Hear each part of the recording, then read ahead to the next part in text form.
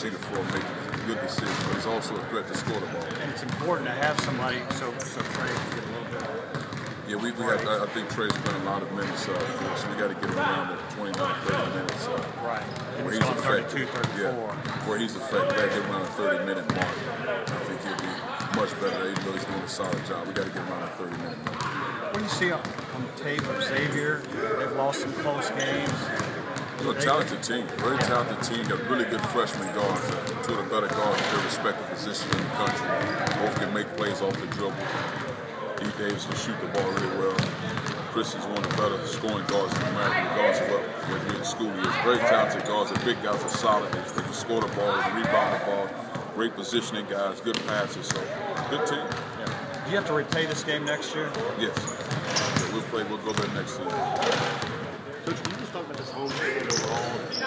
For two long how much better, how much do you get to work on Well, that- that's the biggest key. You gotta really get as good as you can get, so to speak. So once we start playing, Xavier it doesn't stop from that point. So now it's just a matter of repetition and practice. Practice cuts down hour and a half, and just really improving on what you already have more than anything. Just getting better in all respects of the game. But I just think for us, the mental and physical toughness every day.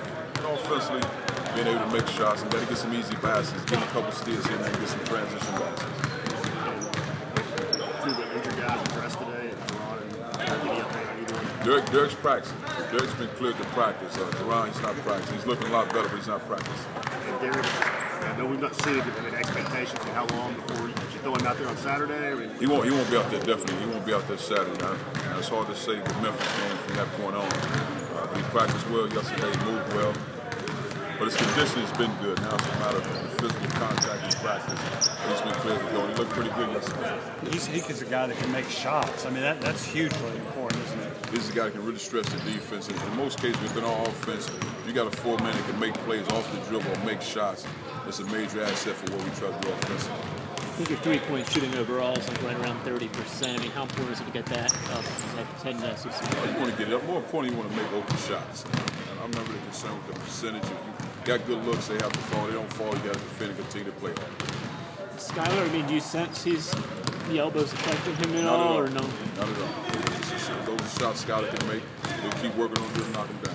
But it's not a situation. It's just maybe a little bit of a slump. It's nothing. Whereas the I elbows don't necessarily think it it's a all. slump. I just think it's a case of those shots look good. I, I, in my opinion, when you have slumps, those shots are way off. Nipping the rim. His shots are right around the rim, coming in and out. I think he's fine. At it doesn't stop? Is it, you know, I know that SEC plays here. Is there a kind of tones changing, things are getting more serious? And this. I like to think so. The guys are locked in. They understand what's at stake. And, uh, I love have to compete at all the time. Uh, there's no more, I guess, so to speak, games you kind of work in your game to get better at. And I think for us, I like these type of environments. I think we have those games you're supposed to win by 20 plus. The focus isn't really how they slip. I think these type of games for us are still,